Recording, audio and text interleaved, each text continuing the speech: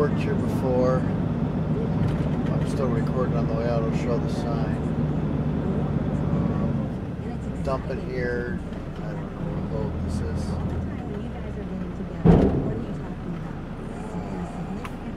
Down.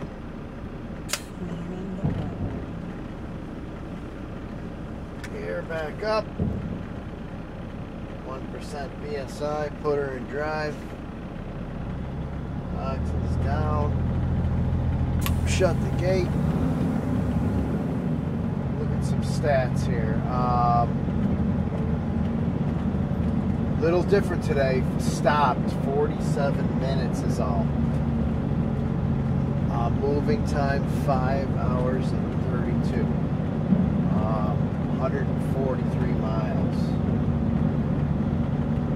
Um, 6 hours and 19 total.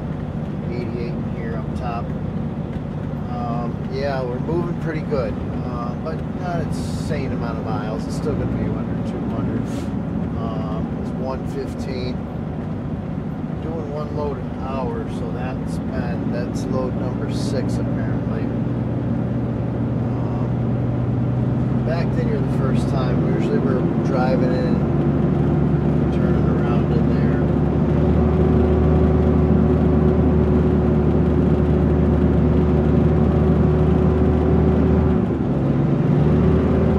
remember seeing the other truck come out. I think they're done. Or they're, I see they're stockpiling it back there now. They're not uh, dozing it off right now. I don't know why. Usually they dose it as we bring it in. It's gone. So this is a new big townhouse complex.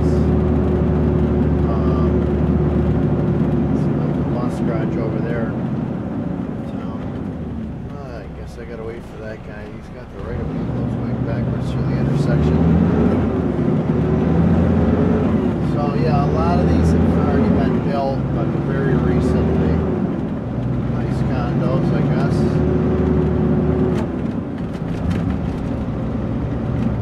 Um,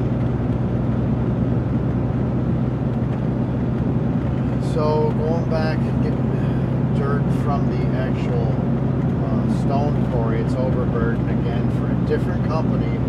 It's not very often I do this. I really don't like it. It's such a long ride off site back there. It's crazy. It takes forever to get out of the plant, but makes it so that it's only a load an hour. So I guess that's a good thing. It's a long ways away from the plant, two, two towns at least, over away from overload contractor's main headquarters is, set up in that little shack of a house because it's been here so long. So that's what it's called, Winding Creek Apartments, New York.com. And uh, going up here, I'm gonna grab, uh, stop this round. I already ate lunch. My wife made turkey and biscuits last night, so I had that, but kind of a small helping, and I'm gonna go grab something else. I worked at this Hampton Inn when they built it a few years ago. They did another one up here, Microtel up here. Where I get fuel up here, though. DJ's a discount place.